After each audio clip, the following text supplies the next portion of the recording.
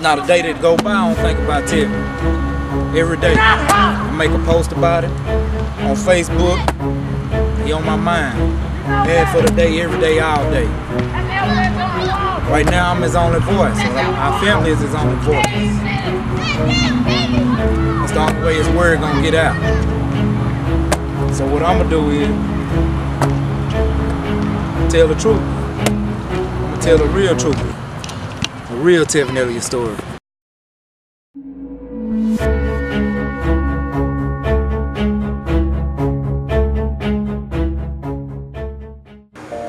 So I understand that outside the lines has did a story on what Baylor didn't do in their sexual assault cases. Well, this case right here is involving my nephew Tevin Elliott. But what outside lines didn't do was get the initial police report on things that really happened. So by playing this right here, one of the so-called victims, she says this about my nephew. It's hard to watch, especially when you know it's a lie. But I'm not only gonna tell you it's a lie,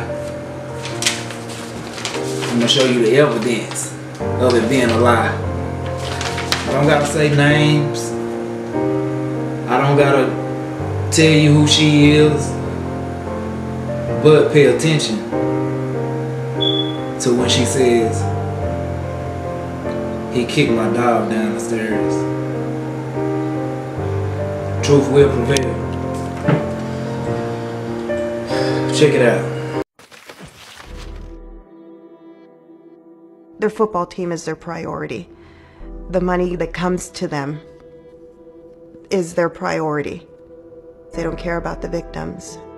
He actually picked me up, put me over his shoulder, walked up the flight of stairs. I knew that when he kicked my dog down the stairs, this is going to get violent. I called the academic department and I spoke to a lady and I specifically said my daughter was raped. She told me, if a plane falls on your daughter, there's nothing we can do to help you. As a Christian person, you strive to be the light on the hill that people look to as kind of a guidepost. And in my mind, as a Christian university, that should be what you strive to be too. Outside the Lines, Sunday, 9 a.m. Eastern on ESPN. So now you hear what you hear, and we know what we know. So who's really telling the truth?